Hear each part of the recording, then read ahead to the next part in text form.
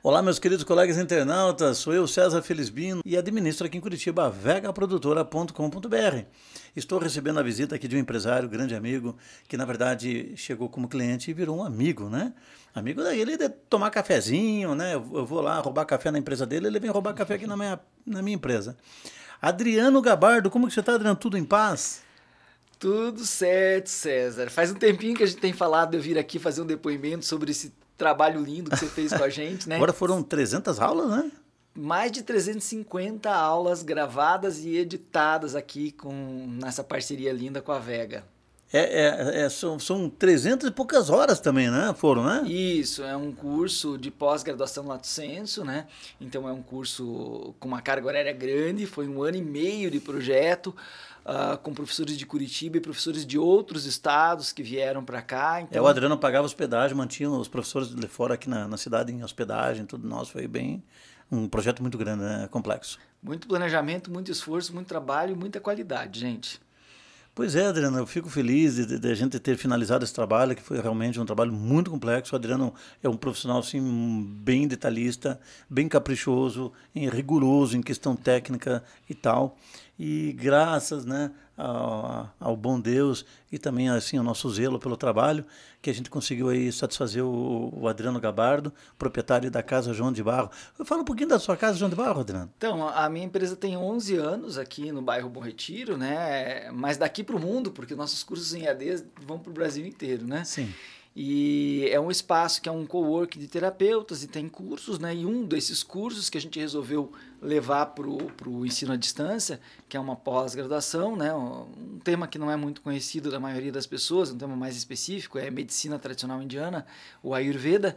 Mas, enfim, um projeto que a gente é, planejou por bastante uhum. tempo, escolheu uma produtora, depois de ter levado uns tombos aí antes de conhecer o César. É, passou umas dificuldades aí, né? É, um projeto que a gente gravou e não deu certo, a edição ficou ruim, não tinha planejamento não ficou atrativo. Aí e, a gente e foi um dinheiro que não retornou mais, né? Não, Perdeu, não retornou né? mais. Perdeu o dinheiro. Foi alto ainda. É. Mas aí com o César, a gente já tinha aprendido os, os tombos, né? É, a gente percebeu assim, primeiro que a gente precisa planejar o que a gente quer captar. Uhum. Né? Segundo, que a gente precisa ter um bom profissional que saiba o que captar e como faz a edição depois.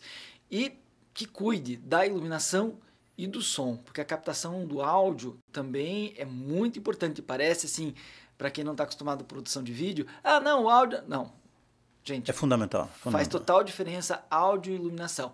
Então, uma coisa é você fazer uma produção de vídeo com o celular, nada contra quem faz, eu acho que a gente precisa fazer muita produção de celular hoje, mas quando você quer fazer um material de destaque profissional, precisa ter apoio de um profissional mesmo, que saiba o que está fazendo e como é que vai entregar isso. E essa fez total diferença no nosso projeto de curso, afinal de contas, um curso grande, com mais de 350 aulas, que precisavam ser editadas, precisavam ter imagem de boa qualidade, um bom planejamento e execução. E nós finalizamos, né? Ficamos juntos em um ano e meio praticamente. Um ano e meio. Desde o início, pessoal, desde o início com todo, com todo o projeto que ele, ele passou para nós aqui. E iniciamos e finalizamos agora. Exatamente. E aí foram dois tipos de aula. Queria contar para vocês a nossa experiência, porque acho que é importante você que está pensando Isso. em produzir vídeo. Posso falar? Fala, César? fala, explica lá. então a gente tem dois tipos de aulas: as aulas teóricas e as aulas práticas, tá? Nas aulas práticas, vamos começar pela prática, que era o desafio maior. A gente tinha aulas onde a gente precisaria filmar a pessoa sendo atendida em maca, é, então a gente precisou ver como é que colocaria ela no estúdio, a gente montou lá na Casa João de Barro para para colocar a, a pessoa, para captar ângulos que ficassem bons, para captar detalhes onde a gente mostrasse a atuação do terapeuta, um passo a passo, ficasse didático então e intercalasse com os planos abertos e fechados. Esse foi o primeiro desafio das aulas práticas. Também teve as aulas práticas onde a gente precisava mostrar o preparo de algumas coisas em cozinha. O que, que a gente fez? A gente montou um fogão cênico com rodinhas e tudo. Aqui foi impressionante, bonito fogão é, para a gente preparar, como é que a gente ia pegar os ângulos, melhores ângulos que mostrassem os ingredientes, que mostrassem o preparo, que captassem o som. Como é que a gente ia captar o som, por exemplo, um liquidificador faz um barulho e abafa o som da voz, né? Uhum. Então fazia captação separada, é, então em pistas, não sei exatamente como é que foi tecnicamente, eu sei que ele deu um jeito, né, César? Não, não, não. Para ficar muito bom, para ficar excelente. Lembrando também, é. desculpa te cortar também, que a gente teve, claro, todo o apoio também da, da sua secretária Angelita, né? Isso. É, Tem que lembrar da Angelita que nos ajudou bastante com a coordenação do projeto, né, Adriano? Isso. Tem uma colaboradora nossa lá, a Angelita, que foi a pessoa que eu botei à frente do projeto para acompanhar as gravações e edições. Era ela que sempre estava conversando e planejando com o César, né, o que, que tinha a captar, né, ajudando a ver os ângulos, iluminação e tudo junto com, com a expertise uhum. do César. É claro que sem essa expertise não daria para fazer. É, para depois a gente fazer as vinhetas, né? Foram depois elaborar as vinhetas, vinhetas né? De, de abertura e fechamento. Né? Na verdade, pessoal, o projeto do, do, do, do empresário Adriano Gabardo é, como eu já falei aqui no início, é realmente muito complexo. São aulas EAD, né? Ensino uhum. à distância, com um capricho fenomenal. Que nós finalizamos, está rodando, né? Tá, tá. Já está te dando o devido retorno, imagino eu, né, Adriano? Sim, sim, sim. E foi um, um, um investimento do Adriano hoje que eu acho que o Adriano pode. É. Pode sim falar, estou satisfeito. Sim, muito satisfeito. E aí as aulas teóricas, né, a gente teve um outro, um outro desafio nas aulas teóricas. A gente queria que aparecesse um monitor de televisão, o professor interagisse com o PowerPoint. Ah, sim, então, verdade. O, o, César ajudou a gente a, a compor um cenário, né? A, uhum. a, montar um cenário. Como é que esse professor ia ter? Ele tinha um púlpito, tinha um ponto no meio e tinha um ponto onde ele se referia ao, ao, aos slides e a gente fazia o corte ao vivo, né? Vocês uhum. fizeram a filmagem com corte ao vivo. O corte ao vivo facilitou muito porque não tinha tanta pós-edição para ser feita. Então, pela uhum. quantidade né, que a gente tinha de, de videoaulas para serem gravadas, isso foi uma mão na roda. Ô, Adriano, mas, mas encerrou agora definitivo? Encerrou todo o curso? Acabou mesmo tudo? Esse projeto está finalizado, 100% Ixi. entregue pela Vega aí Bateu gente. o martelo, né? É, e também quero aproveitar, né, o ensejo também. É, o Adriano é uma pessoa agradável de trabalhar, ele, ele, ele, ele é uma pessoa calma, é terapeuta também, né? Deve ser terapeuta, né? Acho que pelo fato de ser terapeuta, pessoal, ele já, tem, já traz com ele essa tranquilidade. Então foi confortável trabalhar com o Adriano. Não houve, assim, que eu lembro, assim, nenhum tipo de dificuldade, né, Adriano? Tudo, tudo que aconteceu, acho que foi devidamente orquestrado, resolvido, não foi, Adriano? Sim. Foi uma convivência feliz, né? Sim, não. A, a, e a nossa empresa aqui do lado também facilitou bastante. Facilitou né? bastante. Uma quadra e meia. É, isso é uma coisa que facilita, assim, porque sempre que a gente precisava de um ajuste, alguma coisa, a gente estava pertinho aqui, corria para o César. Então, essa é uma característica importante do César, ele é uma pessoa que está sempre disponível. Se ele não pode na hora, ele te retorna e fala assim: Adriano, tal hora eu vou aí, ou você vem aqui. Então, até tirar dúvidas que não estavam dentro do contrato, por exemplo, a gente precisava gravar uma coisa no celular uhum. para fazer uma divulgação que não fazia parte do contrato. Gente, nunca deixou a gente na mão. Até assessoria para comprar equipamento, né, que a gente precisou ah, comprar ah, lá. O César orientou toda a compra de equipamento, foi em loja com a gente, tudo, não deixou uhum. a gente uhum. na mão, não deixou a gente comprar besteira e gastar dinheiro à toa. É verdade mesmo. realmente lembrei desse detalhe. A gente montou, comprou vários equipamentos para o seu, para seu, a sua empresa, né? Exato. Referente à mídia, né? Tudo lá. E é isso, pessoal. Então, é o que o, é o Adriano tá, tá, tá, tá, esse empresário que está aqui compartilhando com a gente a sua experiência, né? De um trabalho grande, de um ano e meio, finalizado agora. Como ele explicou aqui, foram muitas aulas, tanto teóricas quanto práticas. Ele teve que desenrolar também, investir em equipamentos. Chegou um momento que exigiu isso. Sim. E tudo que ele falou realmente é, é, verídico, é muito real isso. E foi uma experiência feliz, tanto para mim, acho que quanto para ele, como é. ele está relatando aqui. Eu também aprendi muito com o Adriano e eu sou feliz por ter esse trabalho bacana é, que a gente ofereceu aqui para a Casa João de Barro, uhum. que é vizinho nosso, como ele está explicando aqui. E, e é isso, pessoal. É, você... Tem mais um detalhe que eu queria antes de você diga fechar. Lá, aí, diga ó, lá, Tem mais detalhe. Lá, lá, lá.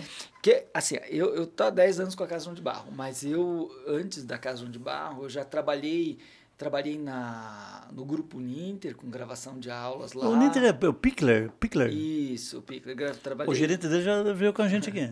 é. Trabalhei no, no, no, é uma empresa de educação referência no Brasil uhum. inteiro, né? E antes disso trabalhei com publicidade e propaganda também. Então tive a oportunidade de trabalhar com muitas pessoas é, nessa área de produção de vídeo. E eu vou dizer que, basicamente, assim, a grosso modo, eu separaria as, professores, as pessoas que trabalham com produção de vídeo em dois tipos de pessoa. As que arranjam problema para fazer as coisas e as que arranjam solução. Não preciso nem dizer em qual das duas categorias você está, né, César?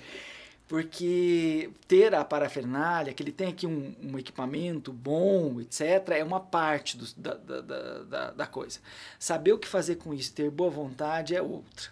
Então, eu já, já fiz é, projetos em que eu tive produtora de tamanho, de porte grande para fazer, é, mas que tudo era um problema, tudo era difícil para conseguir, tudo ia demandar muitas horas, uhum. ou era uhum. pesado. Aí você chega aqui na produtora César, do César, aqui na, na Vega Produtora, e fala assim, não, mas é uma, uma entrada simples, é uma, é uma entrada humilde, não sei o que e tal. Gente, não se engana com isso. Porque, embora tenha uma entrada da empresa aqui que é simples, o equipamento que ele tem aqui é muito bem cuidado, de excelente qualidade, e contar com uma pessoa que acha a solução em vez de achar problema faz toda a diferença. Eu já trabalhei com produtora 5, 10 vezes maior que essa aqui, que só arranjava problema, não arranjava solução. Que bacana, esse momento merece um corte fantástico. Obrigado, viu, Adriano? E o que o Adriano está tá relatando realmente é interessante, até porque agora estou envolvido com filmes, estou produzindo filmes, estou na quinta produção, quinto filme já. E, esse, e essa quinta produção está envolvendo muitas personalidades aqui do estado do Paraná. E eu estou trabalhando também com muitos atores, atrizes, e eu tenho algum pessoal do elenco que, que vem de teatro e vem não sei da onde e tal, e chega aqui, mas vem com um mundo de problema, Adriano. eu falo para ele, porque eu aprendi isso com você, né? Eu falo para eles assim, falo, Pô, por que, que não vem com a solução? né? Se você achou que está errado ali, está dando um conflitinho ali, pô, mas já traz a solução, me ajuda, por favor. Manda lá, dá o meu contato para fazer terapia comigo lá, é. César. Eu trabalho com psicodrama. É. é. o Adriano também trabalha com psicodrama. Esse teatro do Adriano é algo que eu tenho um desejo um dia de, de produzir algo do, do, que ele faz. Que eu nunca vi na minha vida, não, não conhecia nada. Eu vim conhecer através do Adriano, que, que são suas emoções expressadas por atores, atrizes, eles expressam o teu sentimento. Você já pensou em algo assim? Já imaginou algo assim? Atores num palco representando o teu sentimento? Você, você, você, todos na plateia podem erguer o dedinho lá e, e, e pedir para contar um relato de um momento, de uma passagem da vida. O teatro da vida do Não, projeto. Peraí, vamos contextualizar o pessoal, que a gente sai do Ayurveda para o teatro para a vida. São duas coisas diferentes que a gente faz na explica casa. Lá, né? Explica lá, explica Não, porque tem cursos e terapias na casa. Então a gente estava falando da medicina indiana, né? Nossa, deu uma virada, hein? E aí o César introduziu um outro assunto. É. É, dentro dos cursos e terapias lá na Casa de Barro, a gente tem yoga, tem outras coisas lá. E o psicodrama, que é a abordagem que eu trabalho, né? É uma, uma abordagem que mistura a parte de emoção, psicologia com teatro, né? Então eu atendo no consultório com, com o psicodrama individualmente e nós temos um, um, um grupo é, que tem o curso e, o, e tem o grupo de teatro mesmo que trabalha com teatro espontâneo.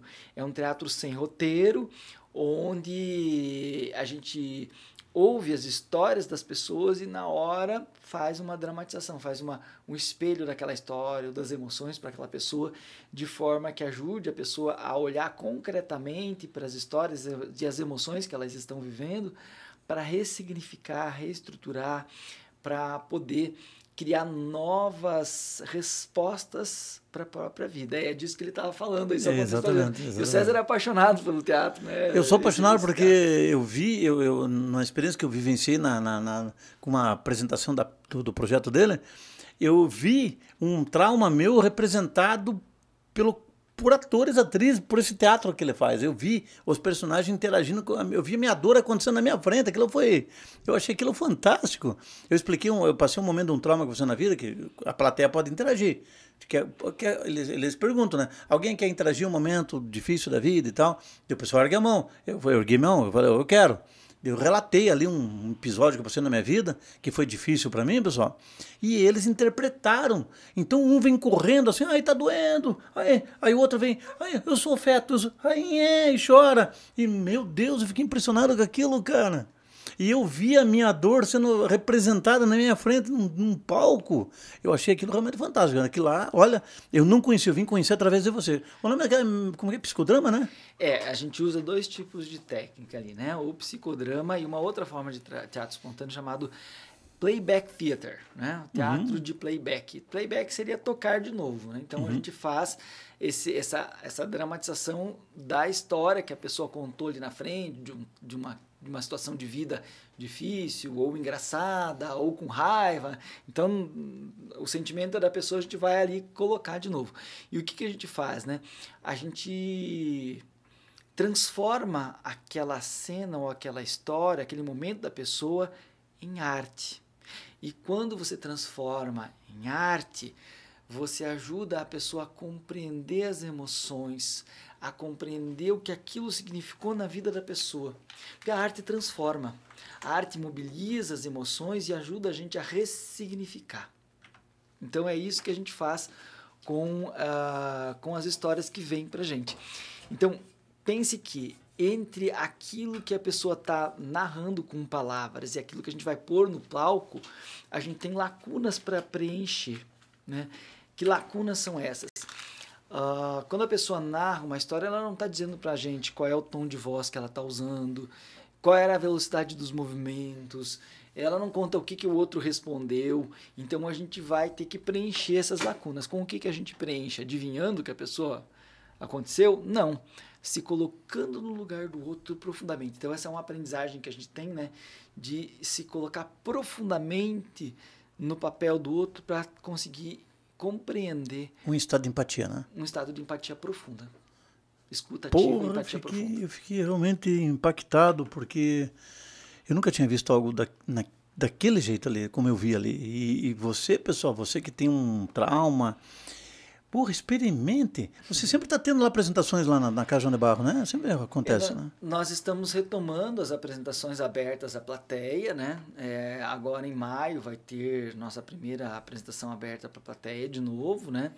É, faz parte de um, de um projeto aí que a gente vai é, dar um spoiler aqui, mas Não, esse ano a gente vai, na segundo semestre, aí, extrapolar a Casa João de Barro. Opa! Nós vamos, come nós vamos começar a nos apresentar em teatros. Olha que bacana. O nosso teatro terapêutico vai para os espaços culturais da cidade. É um spoiler, ainda não tem qual é o teatro. Da, a hora que fechar qual é o teatro, eu venho aqui contar em primeira mão para você e, e para o pessoal da tua audiência e te convidar. Quero muito que você vá lá, César. Que bacana, pessoal, porque eu realmente eu sou, eu sou um tipo de pessoa que eu, eu vou eu vou sempre eu vou procurar sempre acompanhar esse projeto da Adriana porque realmente eu fiquei fascinado. Eu tenho certeza que o meu público, como ele se referiu aqui, muitos que eu conheço não conhecem também esse, esse, esse projeto dele. É. A e... gente vai muito para a empresa, né? A gente faz, por exemplo, a PUC é nosso cliente, é... o Sebrae, já fizemos a apresentação Mas com a ideia de representar os problemas que acontecem dentro de uma empresa? Sim, temáticas que as empresas trazem para a gente. Por exemplo, é, a gente abordou no Grupo Marista, por exemplo, as marcas que nós deixamos na infância, um trabalho feito com professores do ensino fundamental e pré-escola. É, na PUC Paraná, uh, um trabalho que eles fazem lá que chama-se Projeto Comunitário. Nós é, fomos trabalhar ali quais os impactos dos alunos da PUC quando eles vão para fora dos muros da PUC fazer o trabalho comunitário, envolvendo ações né, em, em ONGs parceiras. Um, que mais? Uma empresa, uma vez estava numa época de transição, com enfrentamento de dificuldades, pediu para a gente trabalhar resiliência. Resiliência. Resiliência. Teve uma outra empresa que pediu para a gente trabalhar na CIPAT o cuidar né? quando eu cuido de mim mesmo, quando eu cuido do meu colega que está ao lado e quando eu cuido do mundo. Então são temas que vão surgindo dos mais diversos possíveis dentro das, das Eu fico, das fico tentando imaginar como seria você expressar pelo psicodrama, é psicodrama tudo isso, né? É. Como, como se expressar numa empresa, essa questão que você colocou, é, a questão de cuidar do colega ao lado, é, como que interpreta isso pelo psicodrama? Fiquei curioso agora, assim, como que seria isso? Então, veja só, essa história foi muito interessante. A, a empresa chegou para mim e disse assim, olha, a gente vai fazer uma CIPAT, que é Semana Interna de Prevenção de Acidentes de Trabalho, e a gente queria juntar a prevenção de acidentes de trabalho com o meio ambiente. Daí eu falei, nossa, mas o que, que tem em comum CIPAT com o meio ambiente? O cuidar. Por quê? Uhum. O meio ambiente, o que, que eu tenho que fazer? Eu tenho que cuidar do planeta.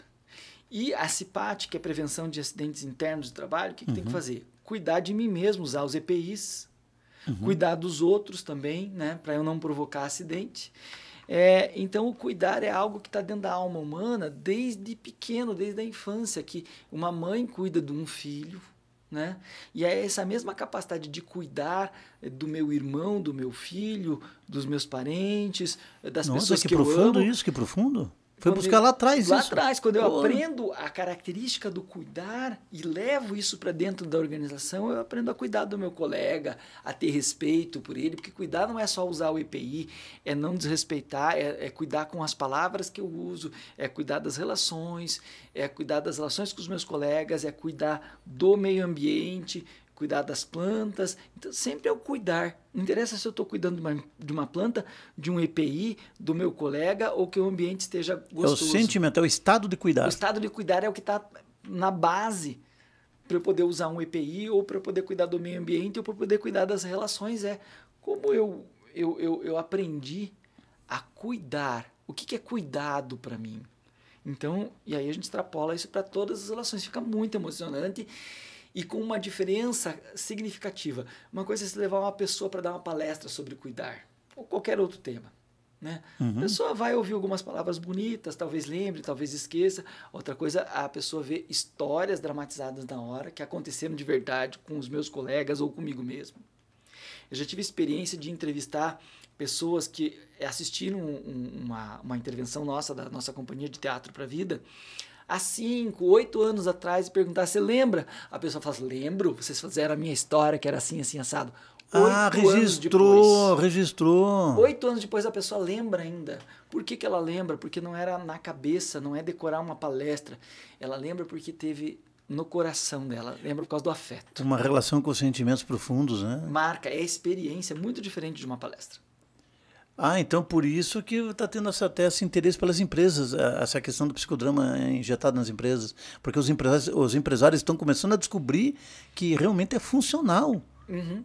Porque ele, ele realmente ele, eh, depois, de- de- ele, depois ele, ele, ele trabalha no emocional dos funcionários. Né? Ele, ele, vocês conseguem inserir Sim, a, a ideia, né? a ideia do cuidar, né? a ideia do cuidar, a ideia é do desenvolvimento emocional. desenvolvimento emocional. Hoje você já sabe, quem trabalha na área de recrutamento seleção de pessoal, que coeficiente de inteligência, né, o quanto a pessoa é inteligência, inteligente é bom para um cargo, Uhum.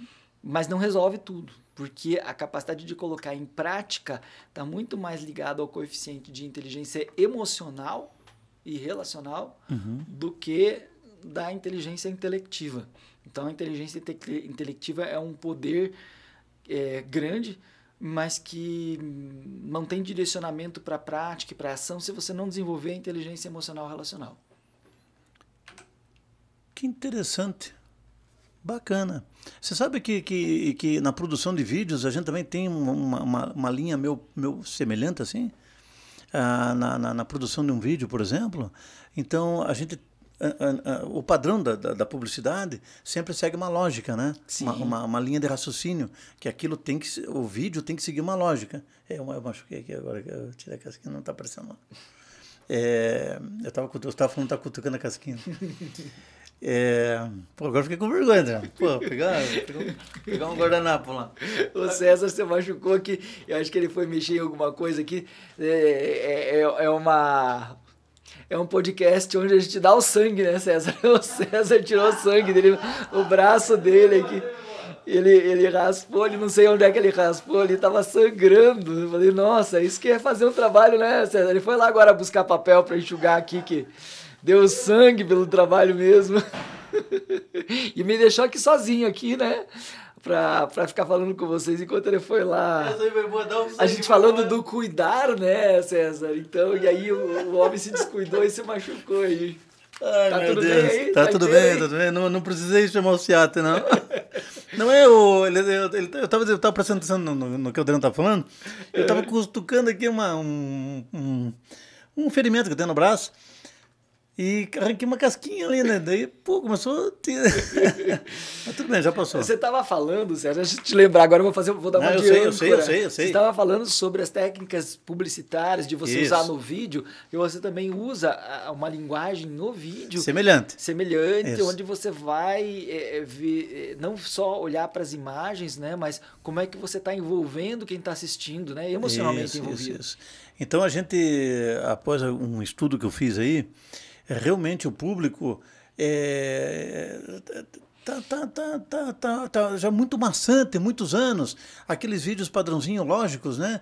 Todo mundo já sabe até o, como vai ser o final, porque já sabe como é que é. Tipo, começou assim, sabe como que vai terminar. Então a evolução dentro da mídia, a evolução dentro da produção de vídeo, aconteceu o quê?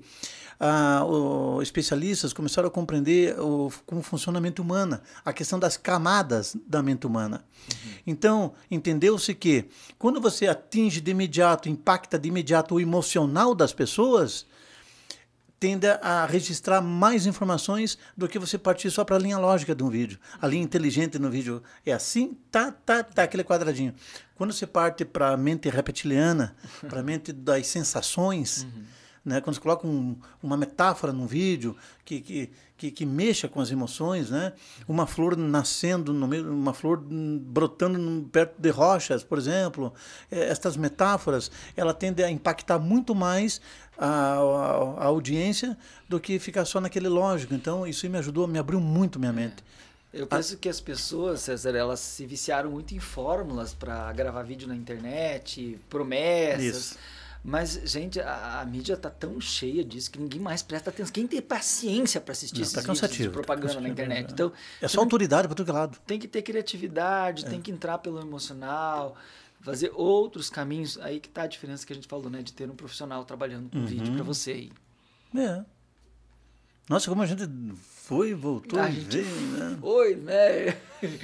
Ele me chamou aqui para gravar um vídeo de cinco minutinhos para falar do projeto. Nós estamos meia hora aqui conversando, porque bater papo é uma delícia, né? É gostoso falar dessas coisas. É bacana compartilhar essas coisas, né? Espero que vocês que estão nos assistindo aí tenham curtido também esse, esse, esse bate-papo aí, né? E, e essa coisa do improviso, de estar aqui conversando de verdade, é, eu acho que é o mais importante, né, César? É verdade, não tem, aqui não tem uma, não rolou uma pauta, não rolou nada. Apenas se sentou, botou para gravar e, e a gente tá batendo papo, né, Adriano? Então, Adriano, fico feliz, realmente obrigado né, por ter vindo aqui compartilhar um pouco da nossa experiência juntos. Você como profissional, presidente ali da Casa João de Barro, eu aqui como CEO da Vega Produtora. É, apesar que o Adriano explicou, realmente a minha fachada ela é simples, porque realmente eu estou aqui para trás, né? Estou aqui no fundo, aqui nesse recanto, nesse mundo iluminado, porém algumas paredes pretas, porque estúdio tem que ter bastante preto, que ajuda a gente a se concentrar mais na, na edição e com muitas luzes, né? Então esse é o meu mundo, esse é o meu lugar, um lugar onde eu conto, procuro contar histórias através de mídias, né? Eu procuro contar, é, transmitir emoções através de, do movimento de imagens e o Adriano está aí, virou meu amigo agora e nós estamos juntos nessa empreitada, terminamos, terminamos uma grande empreitada, foi um ano e meio aí e agora estou esperando o homem startar de novo um novo botão, hein? Vamos lá. Não, não. Isso aí, obrigado pelo projeto aí, ó. aquele abraço. Um ano e meio de parceria incrível. Um. Valeu. Agora vamos esperar, talvez venha o quê? O psicodrama? Curso de psicodrama? Vamos lá, vamos em frente. Abraço, pessoal. Tudo bom? Fica com Deus. Obrigado, Adriano. Fica com Deus. Deus abençoe.